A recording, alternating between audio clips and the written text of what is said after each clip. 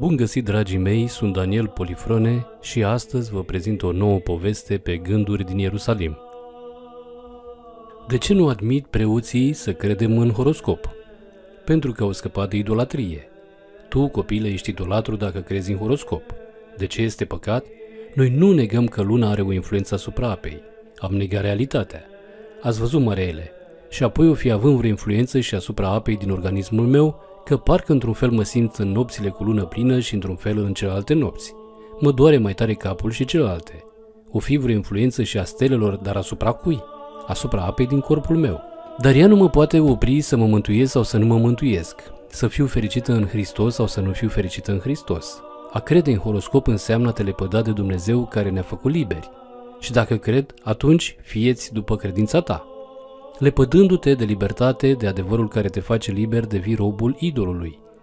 De crezi că de la pisică neagră îți merge rău, atunci îți merge rău. De crezi în horoscop atunci e ca în horoscop. Dar este pentru că te-a părăsit Dumnezeu și te-a lăsat la voia minții tale.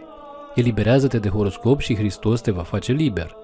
Iar preoții ar fi groaznic să fie numai unii, toți să spună că e păcat și să-ți dea canon acolo să te certe la Sfânta Spovedanie ca să scapi de idolul acesta. Nici să nu citiți căci vă determină vă rănește mintea.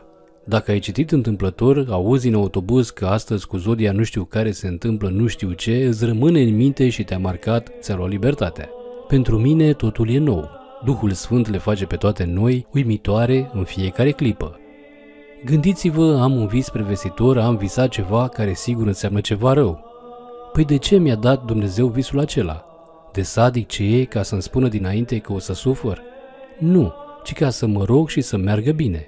De aceea, pentru că Dumnezeu schimbă toate, cu Dumnezeu le schimb pe toate. El modifică că e stăpânul întregii creații. Ți-a zis horoscopul că astăzi pierzi bani? Tu roagă de la Dumnezeu, dă de pomană și ai câștigat.